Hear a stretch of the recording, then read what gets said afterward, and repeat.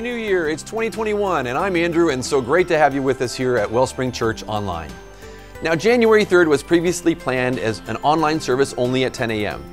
However, our weekly Sunday services will continue online only for at least a couple more weeks due to new guidelines for public gatherings. Now, these changes will require further innovation and effort from all of us to ensure a sense of community, and we'll update you soon on some plans we're working on for the new year. But if you need prayer or need to connect with someone in any way, please reach out to us through our social media platforms or on our website, wellspringchurch.ca, through the contact and the prayer tabs. We'd love to hear from you there. And as we continue to look forward to 2021, we will continue in our focus to increase the quality of what we create to provide more seamless opportunities for people to truly encounter Jesus. If you're watching today and somehow you'd like to partner with us, then we invite you to our website, wellspringchurch.ca, and find the Donate tab, where you'll find links to give by e transfer, credit card, Visa debit, or even by mail. But if you're new with us, please don't feel any obligation to give. We're just glad to have you with us. Well, thanks again for joining us here in 2021. Hope to see you soon. And now, back to our announcement.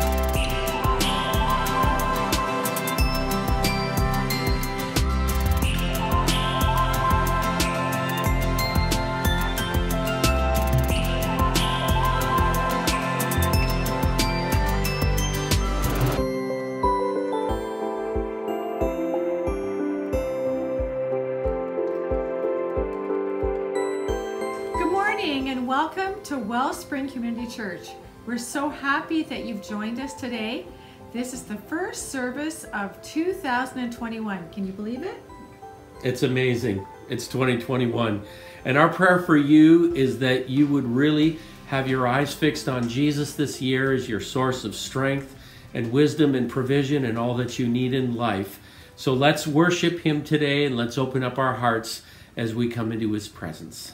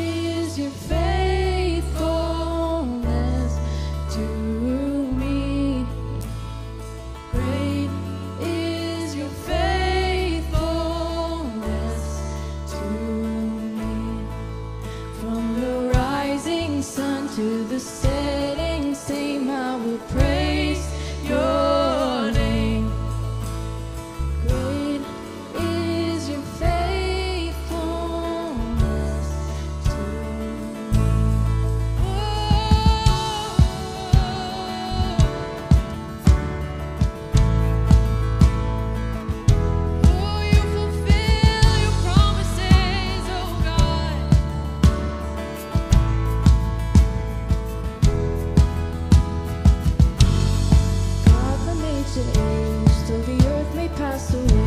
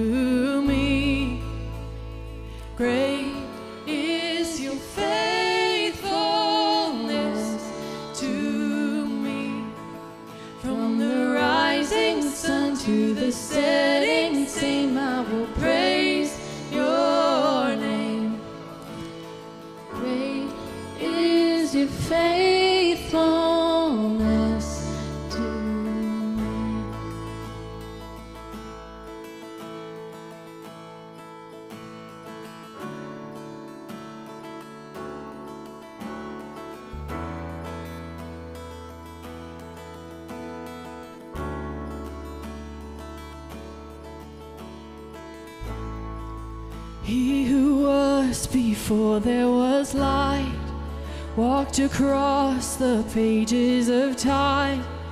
He who made every living thing, behold him.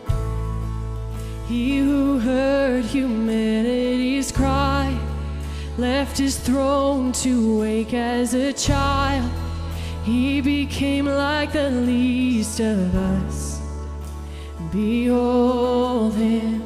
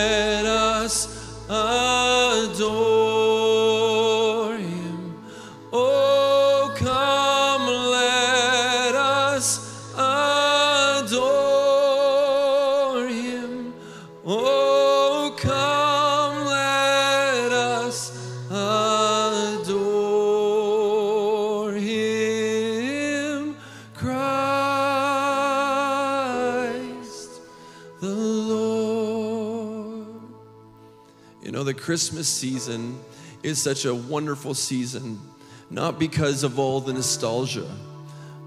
The nostalgia is great. I love the nostalgia. But beyond the nostalgia, there is this time and this season where we regain our perspective and our focus to be able to worship the King, to worship the King who came as a child. And it's easy, it's been especially easy in this season of life for disappointments to become distractions and distractions to become great discouragement. But we need to remember to have our perspective on Jesus, the author and the finisher of our faith, who is the same yesterday, today, and forever. And his word even tells us that even when we find ourselves unfaithful, he is faithful to us. We always need to remember that he is a faithful God. And so when we when I sing these songs and what I would encourage you when we sing these words, "Oh come let us adore him." We're not just adoring or thinking about a little child. We're thinking about the King of Kings and the Lord of Lords. We're thinking about this God that came as, as humanity, came into humanity, took on flesh, and showed us what it was really like, what God was really like, and so that we could understand and know Him. A God that was prophesied so many years before in such great detail came on the scene to reveal the truth of who God is. And the beauty is, it doesn't matter what season that we're in, the power and the presence of Jesus in our life enables us to live beyond every disappointment, every discouragement, and every disillusion that we may feel. That is the realness of the peace of God.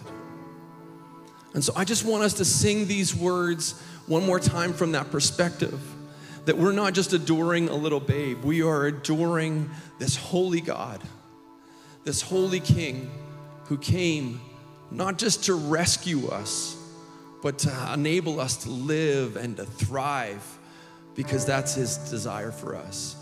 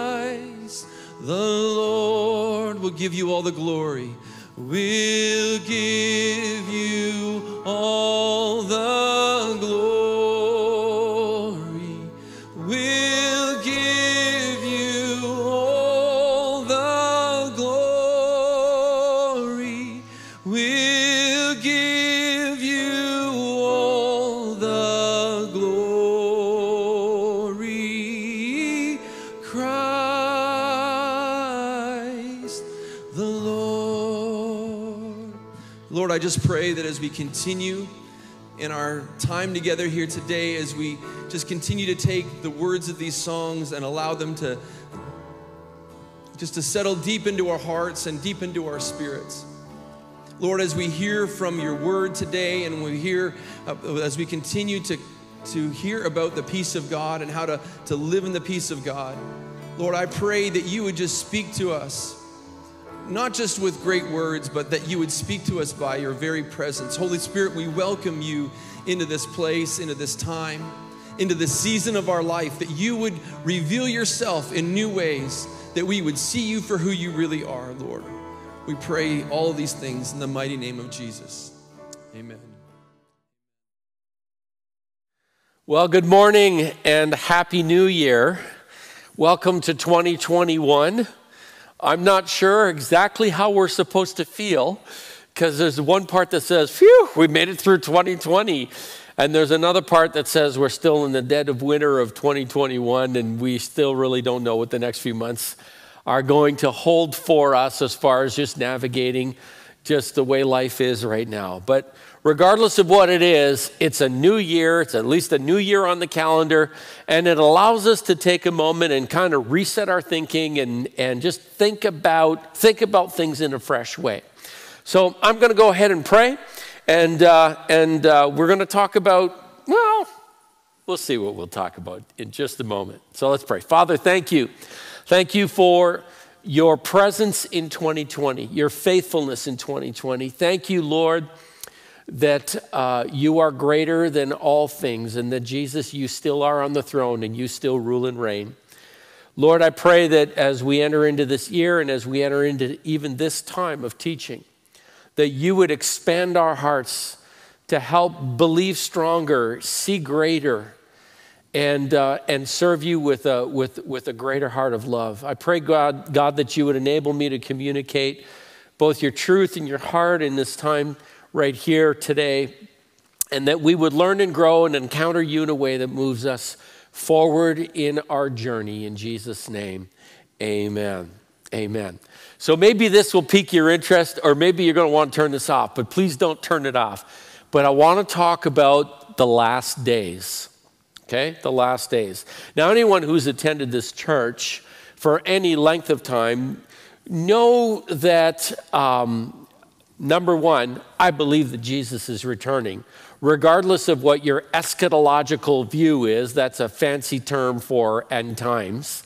Regardless of what your end times view is, I do believe this Jesus is going to come back and he's going to make things right and he's going to make things whole. And so I look forward to that. But when we talk about the last days, and especially in this last year, that conversation has been actually polarizing for some people.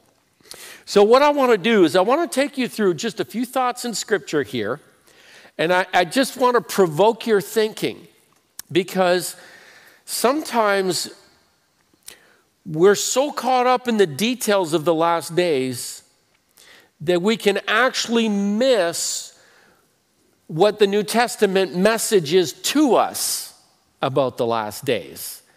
And what we want to do is, you know, it's not always about get just dotting the I's and the crossing the T's and getting our calendars out.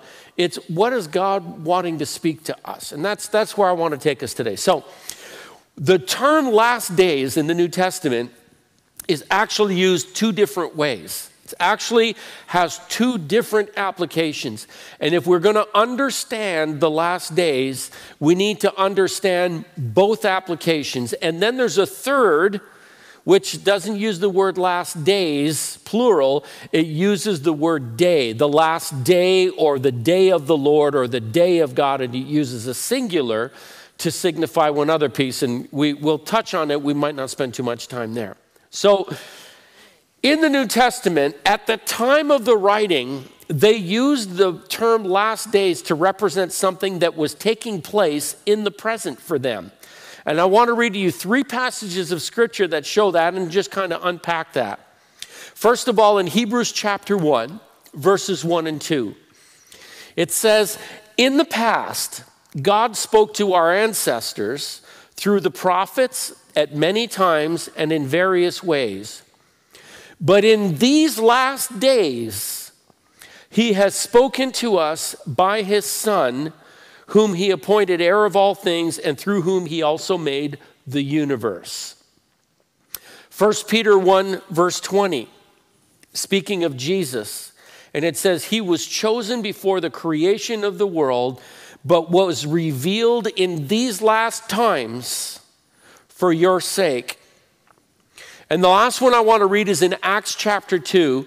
And I'll just give a little bit of preamble. So, Acts chapter 2, people are gathered together, they're praying. Then there's the sound of a rushing wind, and then what looks like tongues of fire comes over their head. And then it says they were all filled with the Holy Spirit. They began to speak with tongues as the Holy Spirit enabled them. People were from all over the world at that time. And, and Peter got up and, and he began to preach. And this is the kind of the beginning of his message because some people were marveling and saying, How is this? You know, we hear them speaking in our own language and they're declaring the glories of God. And other people said, you know, well, they, they're just, they're drunk, you know, but it was only nine in the morning. So Peter gets up and he says, these people are not drunk like you think they are. And he goes right here in verse 16 and he says this, no. This is what was spoken by the prophet Joel, referring to Joel in the Old Testament. In the last days, God says, I will pour out my spirit on all people. Your sons and daughters will prophesy. Your young men will see visions. Your old men will dream dreams. Even on my servants, both men and women, I will pour out my spirit in those days and they will prophesy. Now, this is a huge deal. This is a huge deal because in the Old Testament, the only people that had the Holy Spirit were the king, priest, the high priest, and prophets and there were the odd people who had special assignments from God. But the people at large didn't have the Holy Spirit. They only had the law, they only had the list of rules to follow. And back in Joel, God made a promise and he said, There's coming a day, and he said, In the last days, I will pour out my spirit. And, and what he was saying here is, I'm not going to restrict my spirit to being only on people who function in specific offices, but my spirit is going to be on servants, on young people, on old people, on men, on women. There's no barrier, there's no boundary. I'm going to pour out my spirit. And this is the thing about the New Testament is that in Jesus, we don't just have a, a, creed. We don't just have a belief system. We don't just have a list of rules. We don't just have a faith. We have the Holy Spirit living inside of us because of this promise that was fulfilled. So it's interesting because in all these passages, it refers to Jesus coming and being revealed to the world as the last days. It's the time period where Jesus has paid the price for our sins. It's the time period where the Holy Spirit is made available to every person through Jesus Christ. It's the time where we are a, a, the children of God, that we are a supernatural people, that we are a people that don't just have a belief system, but actually have a spiritual change inside of us. And, and they, they didn't say someday, they said, This is the fulfillment. This is the beginning of the last days.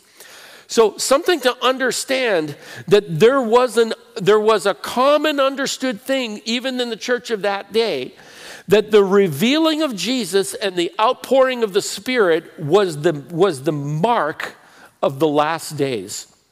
So, in a manner of speaking, we've been living in the last days for 2,000 years. You say, well, that doesn't sound like days. That sounds like a whole lot of days. I'm going to talk about that in a minute. It sounds like a whole lot of days. Yes, but it's, it's, it's a, a dispensational term. It's a term that has to do with a change of time, a change of way of the way that God relates to the world and to people. And he called this segment of time where Jesus paid for our sins and the Holy Spirit comes on, he called it the last days. So people say, you know what, we're living in the last days? And part of me wants to say, yeah, we have been for 2,000 years. We've been living in the last days ever since Acts chapter 2. And Peter said, in the last days, the Spirit would be poured out. And that's what you now see and hear. That's what he said in his message. This is what you're seeing. You are seeing the last days. And, you know, so, so, so the last days are the last days. But there's another use of this term last days that when they, in, in, in the writings of the New Testament, are more future reference than they are present at their time reference. So they knew they were in the last days, but they also knew that they were go- there were going to be things that were going to shift and change. So, first of all, some of the earmarks, some of the, some of the um, sim- I don't want to use word symptoms, but some of the characteristics, that's the word I'm looking for, of the last days have to do with, with trouble and testing on the people of God. So I want to look at that first. Not the fun part, but an important part. 2 Timothy chapter 3, verses 1 through 5. It says, But mark this. There will be terrible, see, uses the future. There will be terrible times in the last days.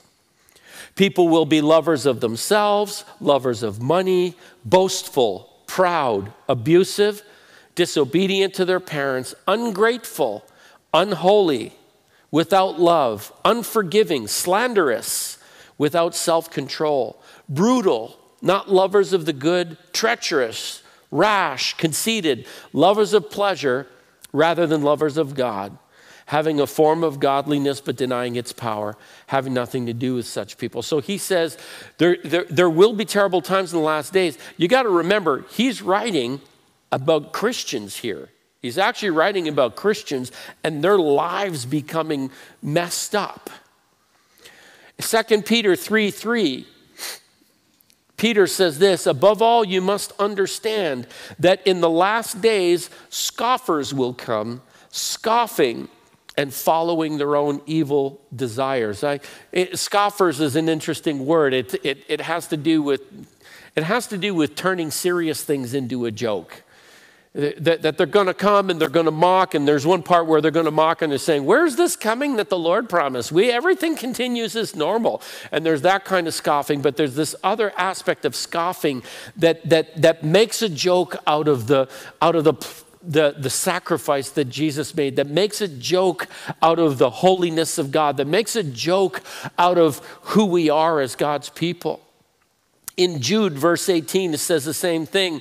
Uh, uh, he talks about, about how the apostles have been telling them. He says, They said to you, in the last times there will be scoffers who will follow their own ungodly desires. That, that there would be people who at one point are serving Jesus, and at another point, it's all about what they want. They want things their way, it's what they want. And, you know, when I read this list in, in uh, 2 Timothy 3, I ask myself this question Have I observed, this is not to be judgment, judgmental, but observational, have I observed these kinds of behaviors in 2020? I'll let you answer that question yourself. There's another part of this future last days that, that is talked about. And it's interesting because it, it, Peter, uh, I, I will tell you that in 2020, my, my, my two favorite books of the Bible in 2020 have been 1st and 2nd Peter. Such an anchor there because Peter spends a lot of his time teaching Christians how to behave when they're not in control when they're not in control of the government, when they're not in control of their circumstances, when they're being persecuted, when they're being mistreated. And, and, and 1st and 2nd Peter teaches us how we should act, how we should speak, how we should respond to people. And I found it to be very, very helpful uh, in order to keep my own attitude and my own behavior in check. And it's been a real anchor point in my heart. You might, you might do well reading 1st and 2nd Peter. But part of 2nd Peter, especially, is he talks about this last days, well, both 1st and 2nd. And in 1st Peter, he says, the end of all things is near. So Peter had an anticipation. He had an anticipation. The end of all things is near. And look at what he says. Therefore, be alert and of sober mind so that you may pray. So we talk about the trouble in the last days, but now we're going to talk about what our response should be in the last days. He says, Be alert and sober minded so that you can pray. In 2 Peter 3, we don't have time to look at the whole passage, so I've just, I've just kept like three or four verses here for you. Um, but the context uh, just before it will be really helpful if you want to go back and read it, and I'm going to refer to it a little bit. But in, in 2 Peter 3, verses 11 and four, uh, to 14, he's been talking about when Jesus comes and he returns, everything is going to melt with a fervent heat, and and you know, and and uh, uh, you know, there's going to be before it was you know the the flood destroyed by water, but this time it'll be destroyed by fire. And he goes on and talks about this, and then he says, starting in verse 11, he says, since everything will be destroyed in this way, what kind of people ought you to be? you ought to live holy and godly lives as you look forward to the day of God and speed its coming. Now, interesting, see, there's that singular, the day of God, the day of the Lord, the day of God is, is the actual return of Christ, okay? As you look forward to the day of God and speed its coming, that day will bring about the destruction of the heavens by fire, and the elements will melt in the heat. But in keeping with his promise, we are looking forward to a new heaven and a new earth where righteousness dwells. So then, dear friends, since you are looking forward to this, make every effort to be found spotless, blameless, and at peace with him. I'm going to look at one more passage of scripture in Matthew chapter 24. And again, Jesus has been talking about ends of things and different things like that, and, but he makes this point in verse 43, Matthew 24, 43, and 44. He says this, But understand this if the owner of the house had known at what time of night the thief was coming, he would have kept watch and would not have let his house be broken into.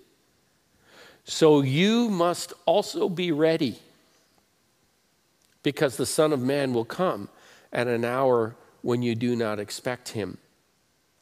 So let me just unpack this for a little bit. We have been living in the last days since Jesus and since the Spirit was poured out. So there's a kind of behavior that belongs in this last days age. And, and I'm going to get, I'm going to pull those in a moment, pull them together for us. And, and then the scripture goes on and says, listen, you know what? There's going to be a point where it's going to get worse than better. There's going to get a point where people will be scoffing and people will be start following their own desires. They'll have a form of godliness, but they'll deny the power of God to actually transform a life. They'll, they'll, they'll, it'll, they'll be about themselves. They'll be lovers of pleasure, what pleases them, rather than lovers of God, what pleases Him. And, and those pictures are being painted, and we get to Second Peter, and he starts to talk about this thing. Now, the verses before, like I think from about verse five or six on, he talks about the promises of God, and he talks about slowness, he talks about delay. And he says, you know what? God's not slow concerning his promises, but he's patient, not willing that any would perish. They were, Peter said, you know, the end of all things is near. Like there was an, there was an expectation, even that Jesus would come back in their lifetime. Like they were looking like, okay, like we're, we need to be ready. Jesus could be coming at any time. And as time dragged on, Peter writes to them and he says, Listen, this delay that you're feeling, this slowness of God, this, this slack, seeming slackness of his promise, is resulting in two things. It's resulting in people who are scoffing and saying, Where's this coming of the Lord? Everything continues as normal.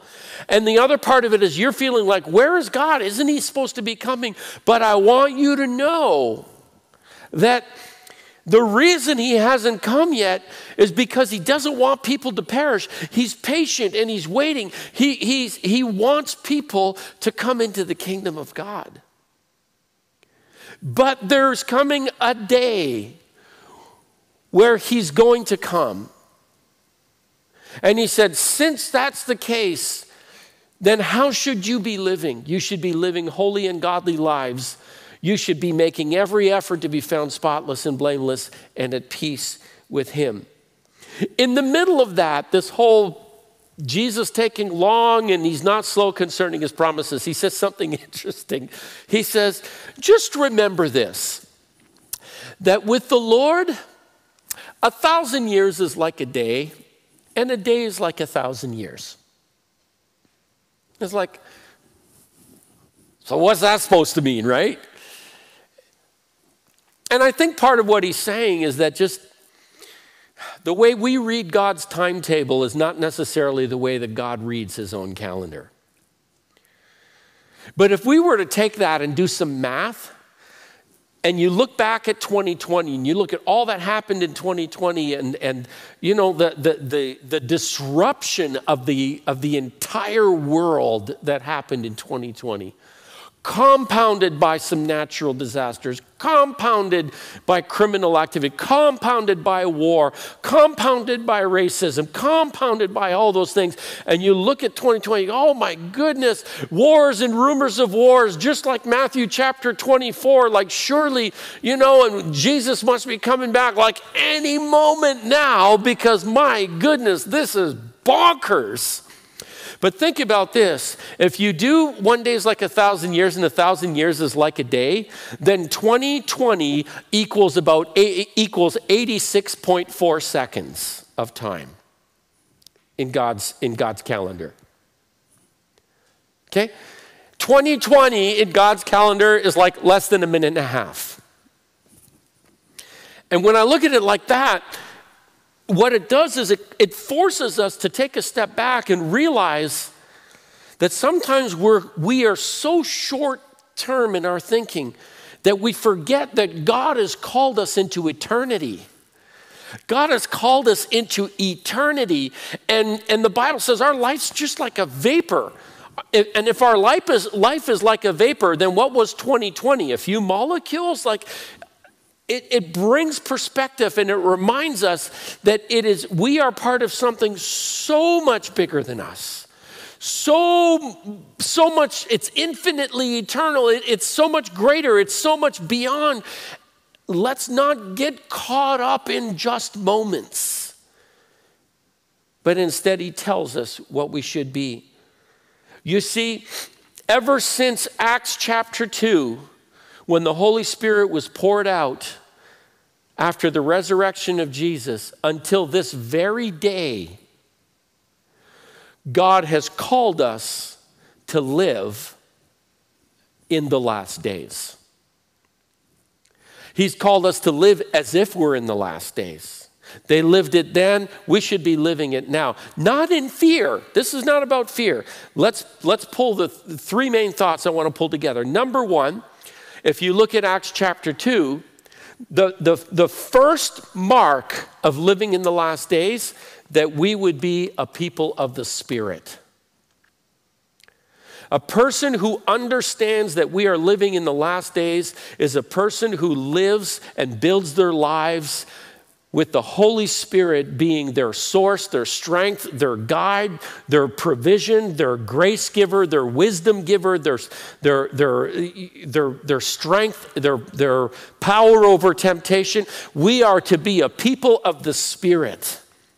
You want to live like a last days person? Be a person of the Spirit. Be filled, be constantly filled with the Holy Spirit, it says in Ephesians 5. Number two, from 1 Peter 4 7, it says, Be alert and sober mind so that you can pray. Last days people are a people of prayer. There are people whose hearts are not anchored in the world, our hearts are anchored in heaven. And so the conversation that we that we want most is the conversation with the Father that we'll spend eternity with. The conversation with the family that we will be a part of forever. And he says, have your head on straight, my paraphrase. Have your head on straight so that you can pray. Because last days people are a people of prayer. And finally, as this passage we looked in, in, in 2 Peter 3, and it talks about living holy and godly lives making every effort to be found spotless, blameless, and at peace with Him. That we are to be, in the last days, a people of holiness, a people whose lives genuinely, fully belong to God. That we're not living to please ourselves, that we're living to please God.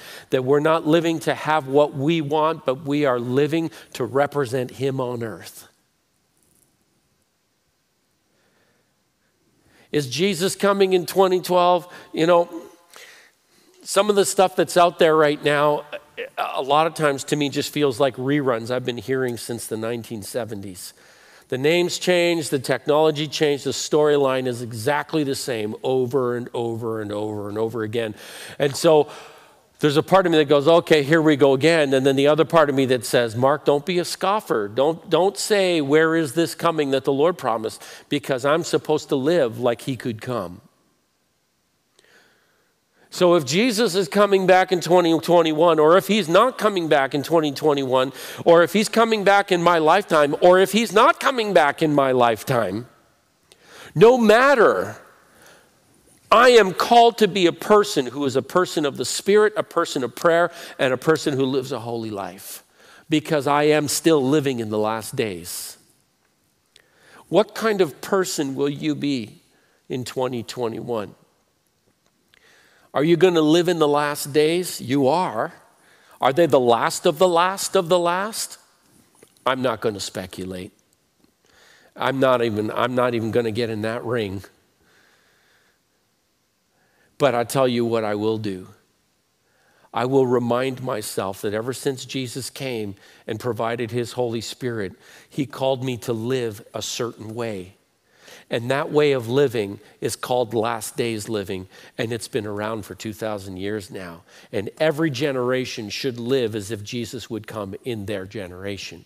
We should all be living like it's the last of the last, not with fear but by the Spirit, with prayer and in holiness.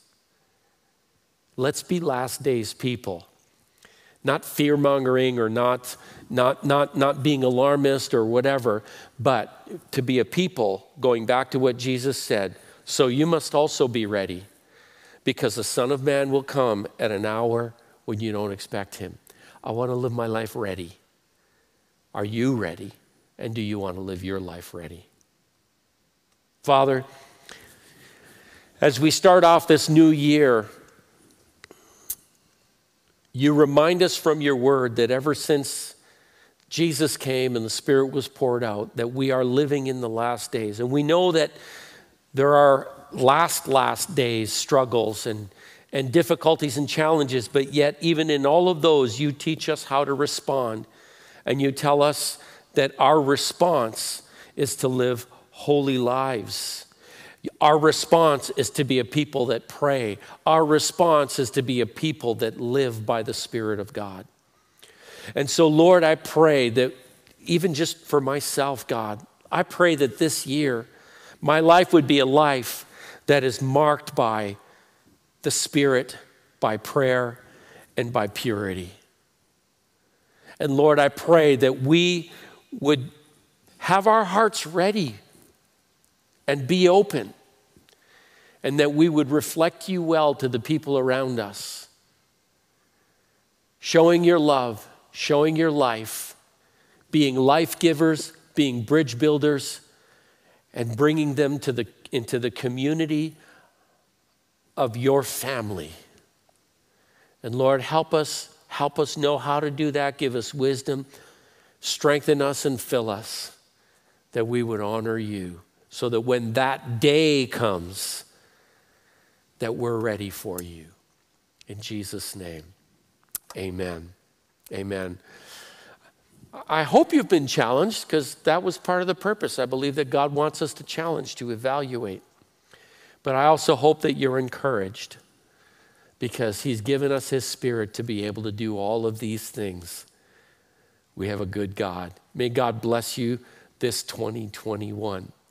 And so just hold on a few minutes here, just as we're wrapping up, and just stay tuned. We're going to uh, go into our announcement loop in a moment and bring you up to date on everything that's going on. God bless you and have a great day. Happy New Year! It's 2021, and I'm Andrew, and so great to have you with us here at Wellspring Church Online. Now, January 3rd was previously planned as an online service only at 10 a.m. However, our weekly Sunday services will continue online only for at least a couple more weeks due to new guidelines for public gatherings. Now, these changes will require further innovation and effort from all of us to ensure a sense of community, and we'll update you soon on some plans we're working on for the new year. But if you need prayer or need to connect with someone in any way, please reach out to us through our social media platforms or on our website, wellspringchurch.ca, through the contact and the prayer tabs. We'd love to hear from you there. And as we continue to look forward to 2021, we will continue in our focus to increase the quality of what we create to provide more seamless opportunities for people to truly encounter Jesus. If you're watching today and somehow you'd like to partner with us, then we invite you to our website wellspringchurch.ca and find the Donate tab, where you'll find links to give by e-transfer, credit card, Visa debit, or even by mail. But if you're new with us, please don't feel any obligation to give. We're just glad to have you with us. Well, thanks again for joining us here in 2021. Hope to see you soon. And now, back to our announcement.